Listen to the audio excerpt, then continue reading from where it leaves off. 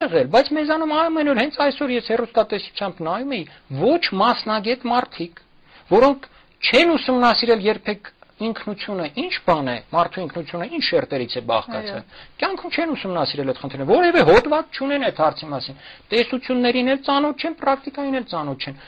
կանգնում են եւ հայտարարում են, որ մահմեդական հայերը նույն հայերն են, կրոնը կարևոր չի, կրոնը պետք է տարանջատել ազգությունից։ Գիտեք ինչ։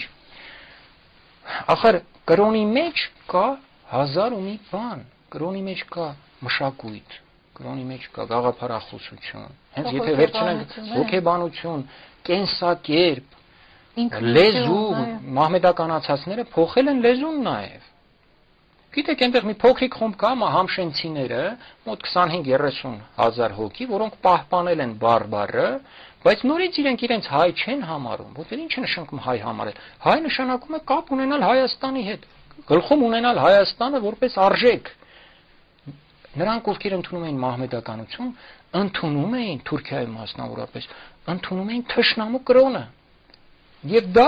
թշնամու կրոնը ընդունելով մերժում էին, ժխտում էին ազգային ամեն ինչ։ Այսինքն պիտի ենթադրել, որ ամեն ինչ կոկած, փայլեցրած ներկայացվում է, որ շատ շուտով հայ-թուրքական հարաբերությունները Այո, բարեկամության հարցերը հիմա եթե իսկապես եւ մենք պիտի քրկապած ընդունենք թուրքերին որոնց անունը կդնեն մահմեդական հայեր։ Սրանք էլ կգան, կասեն այ Չընդունելու դեպքում կմեղադրեն, որ մենք չենք ընդունում մեր եղբայրներին։ Այո,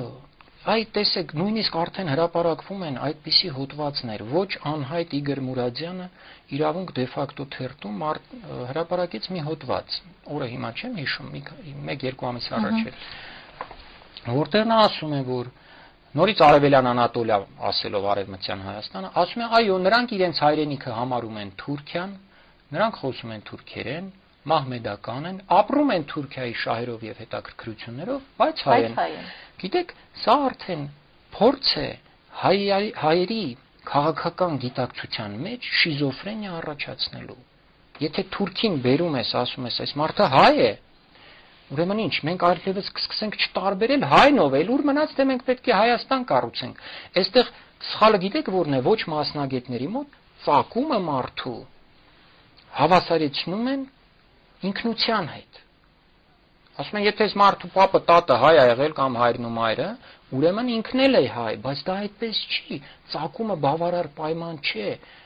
հայ լինելու կամ որևէ այլ ազգի պատկանելու համար։ Եթե այդպես լիներ, Պուշկին ուրեմն ռուս չպետք է համարենք Պուշկինին, այլ ցակումով եթով բացի է։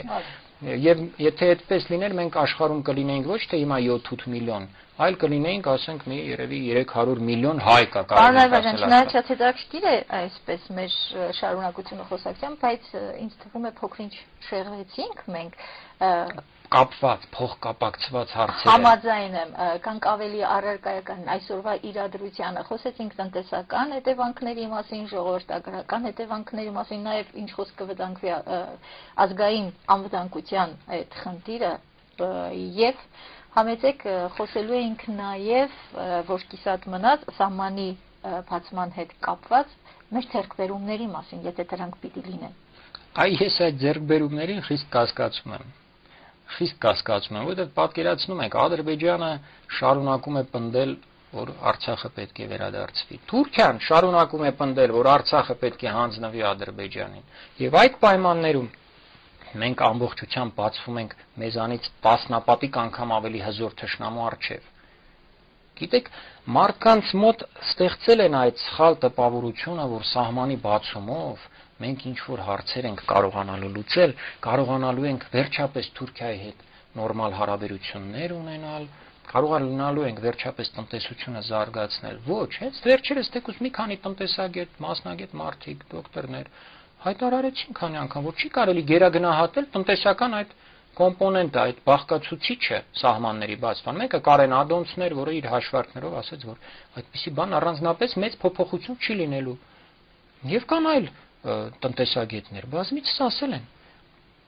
բայց շարունակում է այդ քարոզը որ այս երկու խնդիրը տեսնում են, բայց մնացած տասնյակ խնդիրները, որ Հայաստանի եւ Թուրքիայի միջև կան, աչք են փակում, չեն տեսնում, ջայլամի քաղաքականություն են վարում։ Դա այդպեսի տերմին կա, գիտեք, սովետական միությունում շատ էր օգտագործում, ջայլամի քաղաքականություն, որ գլուխդ մտցնում ես ավազի մեջ, այսպես չեն տեսնում։ Էլ ինչ անում Թուրքիան։ Իսկ Թուրքիան այնքան այն պատերազմը, որ Թուրքիան մղում է Հայաստանի դեմ, այսօր շարունակվում այսօր շարունակվում է միայն զենքով չի մղում այդ պատերազմը առայժմ մղում է տեղեկատվական միջոցներով ամբողջ աշխարհում քարոզելով Հայաստանի դեմ, հայության դեմ, տրամադրելով տարբեր պետություններում ապրող Լավ, ձեր տեղատոմսը Հայաստանը պետք է նայի իրականության այն, այնպես ինչպես կա։ Հայաստանը պետք է հայկական հարցը դնի իր ամբողջության մեջ բանակցությունների սեղանը։ Դուք բացառում եք արտաքին ավելի մեծ տերությունների ազդեցության գործոնը։ Ոչ, իհարկե այն զիջումները, որ այսօր Հայաստանն անում է, կատարում է ճնշման տակ, բայց այդ ճնշումները, եթե վերաբերում են ազգային անվտանգության համար ամենակենսական հարցերին, երբեք չի կարելի թույլ տալ, որ այդ ճնշումները ազդեն, որովհետև գիտեք ինչ ես ասում։ Եթե քո կյանքի ու մահի հարցն է, դու նահանջում ես, զիջում ես, դու դրանով ոչինչ չես շահում։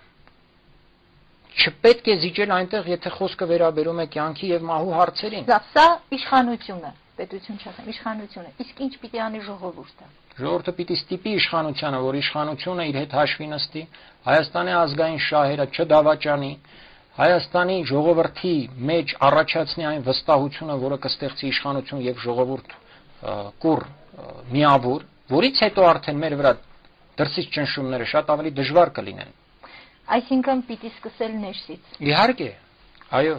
ներսից մենք պետք է ամրանանք, ներսից մենք պետք է ամրացնենք եւ իշխանությունը, եւ ժողովուրդ իշխանություն կապը, եւ տարբեր լուծումներ գտնենք, բայց լուծում չգտնենք այնտեղ, որտեղ այն չկա։ Հասկանում եք, ասում են, «Բա ինչ անենք»։ Հիմա ասենք Վրաստանի սահմանը, որ փակվում է, մենք 5 օր հետո բենզին չենք ունենում։ Եթե Թուրքիայի սահմանը բացվի, նույնպես կարող է փակվել Հասկանում եք, շատ հեշտ ու հանգիստ։ Եվ թուրքերը հենց վերջերս մի քաղաքական կուսակցության ղեկավար Թուրքիայում այդպես էլ ասեց, ասես մենք սահմանը որ բացենք, երբ ուզենանք էլի կփակենք, չի եղել։ Եվ պատկերացրեք, եթե մենք կախման մեջ ընկնենք արդեն թուրքական սահմանի այդ երկանքով այդ ճանապարհներից, եւ հետո իրենք նորից փակեն այդ սահմանը, տասնապատիկ ավելի մեծ վնաս կկրենք։ Պետք է գտնել ալտերնատիվ լուծումներ։ Պետք է զարգ տալ այնպիսի տեխնոլոգիաներին, որոնք այդպես բեռների հետ կապված չեն գուցե։ Ես հիմա չեմ կարող ասել հերթով այն բոլոր կետերը, թե ինչ պետք է անել, հարյուրավոր բաներ պետք է անել։ Դուք գիտեք այն, ինչ չպետք է անել։ Նաև այն ինչ պետք է անել, բայց ոչ այս պահին մենք հիմա չենք կարող դնել 1 2 3 15 Մենք այսպես ձեռք ենք զարգել մի թեմայի, որ գուցե թե սկիզբունի, բայց վերջը առավել եւս մեկ եթերաժամի ընթացքում հնարավոր չէ տեսնեք եւ մանավանդ որ ինձ հիշեցնում են որ արդեն եթերային ժամանակը մոտենում է ավարտին Այսօր ապրիլի 24-ն է, մեկ անգամ եւս հիշենք, մեկ անգամ եւս խոնարհվենք։ Մեր հաղորդաշարում ավանդույթ կա ձեր խոսքը հերոստատիտողին, համեցեք կապված օրվա խորհրդի հետ։ Ես հատուկ չեմ նախապատրաստվել այդպիսի խոսքին ծանա չգիտեի, բայց ես ցանկանայի, որ Գյումրիի, Կումայրի մեր հայ ժողովուրդը, որը վերջին 20 տարվա ընթացքում դառը ծանր օրեր է ապրել, պահպաներ իր ոգին, գալու են նաև լավ օրեր։ Գալու են ունենալու ենք այդ օրերը եւ չմոռանանք, որ մենք բոլորս մեկ Հայաստանի մասնիկ ենք եւ աշխատենք միասին այդ մեկ Հայաստանը ամրացնելու համար։ Երևի այսքանը։ Շնորհակալություն, պարոն Այվազյան։ Շնորհակալություն ձեր նաև հարգարժան հերոստատիտողներ։ Եվ այսպեսով այսօր ապրիլի 24-ն էր։ Խոնգ ու աղոթք բոլոր անմեղ նահատակների հիշատակին մենք խոնարհվում ենք բոլորի, բոլոր զորակների, կոմիտասների, վարուժանների, սիամանթոների, սևակների, բոլոր բոլորների, բոլորի շիրիմների արժև խոնարհվում ենք եւ նրանց շշնջոցը փոխանցում ենք ամբողջ աշխարհին, ով մարդկային արտարություն թող որ թքեմ քով ճակատին։ Խոնարհվում ենք նրանց շիրիմների արժև եւ նրանց երտումը փոխանցում ենք ազգերին հայը ապրել է, ապրում է կապրի ի հեճուկս ամենքի ի հեճուկս ցուրտ հանրահաշվի, որ անում են Եվրոպաներն ու Ամերիկաները։ Ապրիլի 24-ն է երիցս խունգու աղոթք բոլոր անմեղ զոհերի հիշատակին, իսկ եթերում փակագիզներ փակագծում բացվում են փակագծեր։